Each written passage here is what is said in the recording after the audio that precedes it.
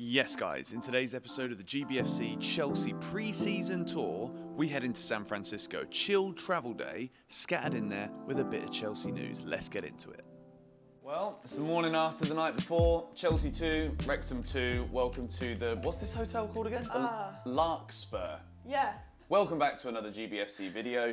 Yes, guys, that was a backwards introduction, but I think today is the day where I'm starting to feel like we're on a journey. We're starting to feel like we're on an adventure because we're moving from place to place to place, and today is flying day. In a moment, I'm getting in the car and putting my sun cream on again. We've got one more day in Cali. We're gonna go to San Francisco and we're gonna check the city out. Then we're gonna get to the airport and fly to Chicago because we're coming to the Notre Dame Stadium. I was watching pronunciation videos because you guys were telling me, don't get it wrong, Benson. I didn't know this, all right? Now I'm educated. We're going to Notre Dame, bro. Notre we're heading there today. How are you feeling, G? I'm feeling good. I'm Did you enjoy feeling the game last night? I did. God, that view and the box. Thank you again to Levi's. That was incredible. We're going to talk a bit again today about what needs to improve in the build up to Chelsea versus Celtic. But without any further ado, let's get ourselves back in the car for the last time. One last day. Never felt I'd have a connection with a hire car before, but like it's actually gonna be sad giving this back. What did we rent in Chicago? Is it any good? No, It's like a little crappy one, isn't it? Yeah, we've got it for like 24 hours. So I think to talk about last night's game a little bit more, I think there's two angles that we can approach it from right now. There's the negative angle, which is Enzo Maresca ball or Maresca ball looks a little bit slow. We couldn't build properly. And then there's the other angle, which is for me the more realistic one, which is that Chelsea had literally arrived in California two days ago. It's the first game. Wrexham are fitter than us right now. We're getting back into the swing of things, and there were genuine positives that we saw. I think Marc Guiu looks like an absolute gem, having watched the highlights back again, and I'm excited to see where we go from here. Speaking of excitement, Hello. You might have just been catching me on the mic because I've been ordering whilst. Uh, Oh, really? Yeah. Smoked salmon on sourdough. She's a good one, this Yeah? one. Okay, cool. Yes, please. Come on. Oh my god, man, this looks amazing, bro. Look at this slab of salmon on here, dude. Mmm. We are entering San Francisco from the north of San Francisco. I've driven across the Golden Gate Bridge once before, went from south to north. Georgie's never been there, so I'm taking her from the north to the south. All right? So, but, oh, look at him confident, isn't he? But it's still beautiful Californian sun. So we're about to go over the John T. Knox Freeway, which is a bridge. It's not quite the Golden Gate Bridge, but it's a bridge nonetheless. Take us to the north of San Francisco. Ships and like a dock down there too, which is pretty cool.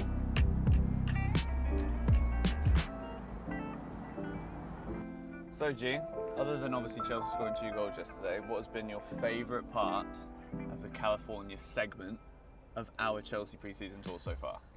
I'm gonna say the sunshine, the In and Out burger. Number one's gotta be this Ford Mustang. I was thinking about it. I'm like, is it necessary?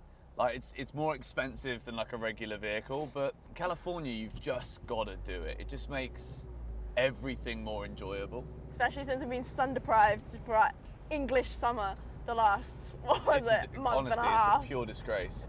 We got a big tunnel coming up now. Ooh. Woo! It literally looks like we're going through a sewage pipe. Yeah, it does. What we got, G? If you can guess the name of my favourite bridge, I'll give you a clue. It Begins with the letter W. Bridge that begins with a W. I don't know any bridges that begin with a W. Waterloo Bridge, Washington. No, the first three letters of the bridge are W A Y. Tell me, please, tell me. I'm not going to tell you. I'm just going to Photoshop his head onto your face. Now you can watch the vlog and you can find it out. Well, we're trying to take a little look at the Golden Gate Bridge from some very touristy viewpoints. The fog, actually, to be fair, it's been a hindrance to some of the views that we've been looking for. But I think it kind of makes it here.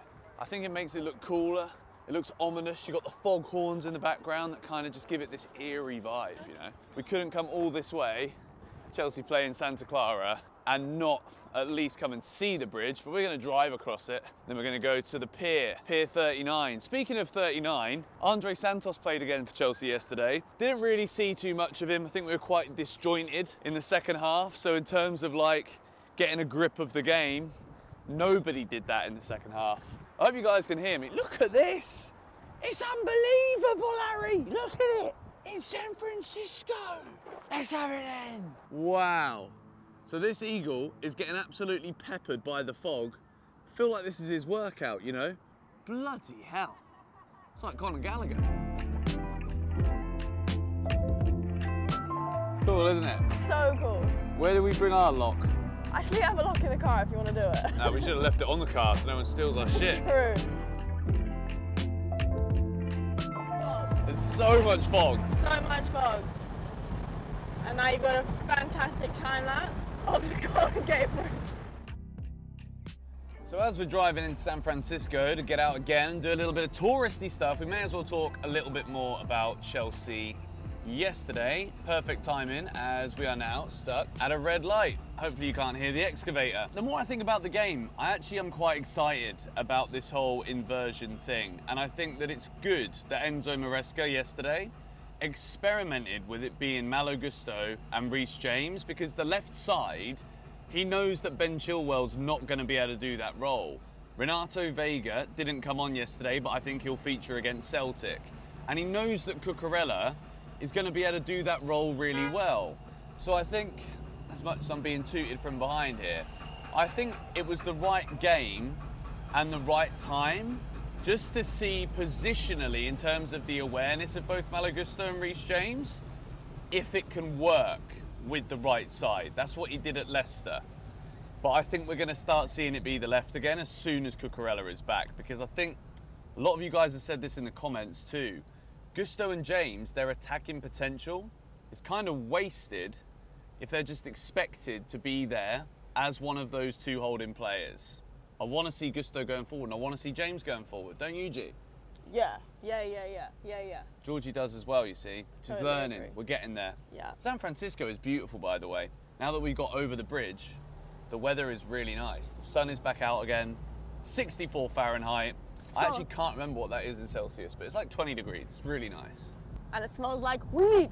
Welcome to Pier 39, G. Thanks, another tourist spot. Yeah. Another tourist spot. Uh, you might as well do a mixture, you know? That's what being on pre-season tour is all about. If Chelsea are in Singapore, you go and want to see like the touristy things of Singapore. He's coming around the side. There, there, there. Did you get it? Uh, uh, There you go, you've had a sea lion now too. I think I'm more otter than sea lion. There we go. He's moving his head up. You did it. Good job, blood. There's Alcatraz prison. Boy was a tennis player. This chowder is absolutely delicious. We've coated it in black pepper because I just love a little bit of black pepper on my food, but the flavors, the food in America just is good, isn't it? Like, uh, it's really good. All right, so another thing yesterday that I didn't talk about in the six things we learned video because it wasn't really like a key talking point at all. Sanchez wasn't bad. Didn't concede a goal in the first half, so he keeps himself a clean sheet. Bergstrom comes on. Say less about that, we don't need to. But the Chelsea news that we've not really discussed here on GBFC because we've obviously been focused on the travel side of the tour. There's been previews, there's been a match last night that we've been able to go to and watch and enjoy. We've not really spoken too much about the news. And the news is that Chelsea could well be very close now to signing Filip Jorgensen, the Danish goalkeeper from Villarreal.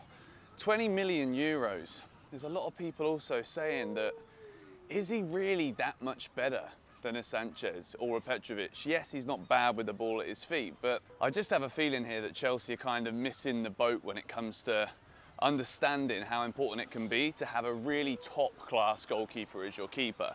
After Petrovic did so well at the end of last season, Slonina still being at the club but not being close enough to make it yet.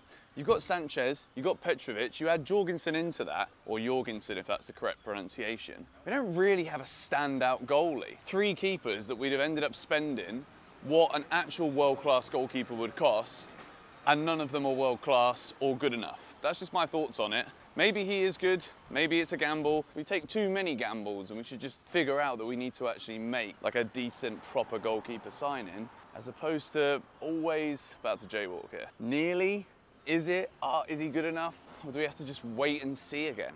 Yes. What do you think, G? Should we sign Filip Jorgensen from Villarreal for 20 million euros? Filip Jorgensen. What do you reckon? Sign him or not?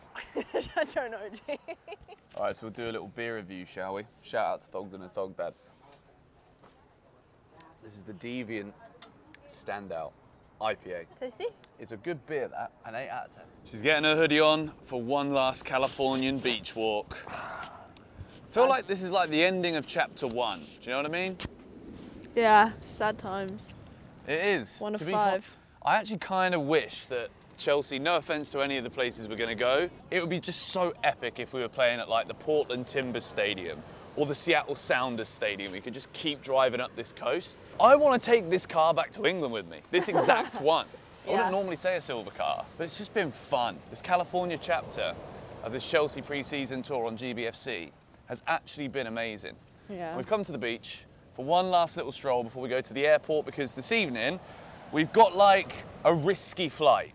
And what I mean by a risky flight is it's through the night from midnight and we land in Chicago, which is about a two hour drive to where Chelsea are playing Celtic at the flipping heck, how do I say it?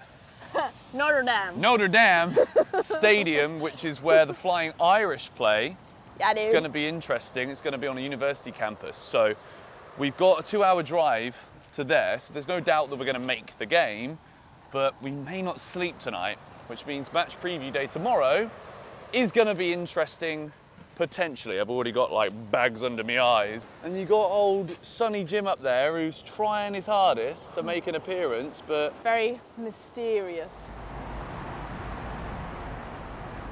Look at that bad boy. Chelsea! Chelsea! That is a monster plane, I tell you. This car genuinely has been such a gem for this trip. But hang on a minute, we've got someone here. I'm going to ask quickly what he Budget thinks man. about something. Hello? Excuse me? Yes, sir. Do you think Chelsea are going to beat Celtic in Notre Dame this week? Supposedly, Yes. if they play well, they don't go become selfish. Then, if they walk with the team, then they might be. I like this. He's spot on. Don't need to be selfish. It's all about the team at this point. This has been real. We're going to drop the car off now. It's not the end of the vlog because I'm going to chat to you guys in the airport. Goodbye.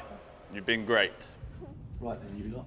I've had an absolute enough of this, alright? I've been sat in this airport for hours, an hour, editing today's vlog. I'm still gutted that we got rid of the car, to be quite honest. I'm tempted to go out there again and just be like, screw this flight. It's a four hour flight. It would literally take four days straight of driving to get to Chicago, to get to the Notre Dame Stadium. But I'm tired. This has been a very good travel day. It's been a bit more of like a chilled, laid back kind of vlog. And I want this whole travel series to be about Chelsea, about previewing games, about reviewing games, about watching football. But at the same time, it's about the experience. I think I'm waking everybody up in the airport, but it's not that late. They shouldn't be in bed asleep yet because they're in an airport. But anyway, I'm going a bit delirious. I'm going to try and sleep on this flight, and we will see you in Chicago Airport in the morning. Might even start the vlog on the bloody plane so that you guys don't miss a trick. I'm not taking you to the bathroom with me though. But anyway, thank you for watching this vlog. If you did enjoy it, smack a like on the video, subscribe if you are new, and we're going to watch Chelsea play Celtic in two days' time. Come on, Blues.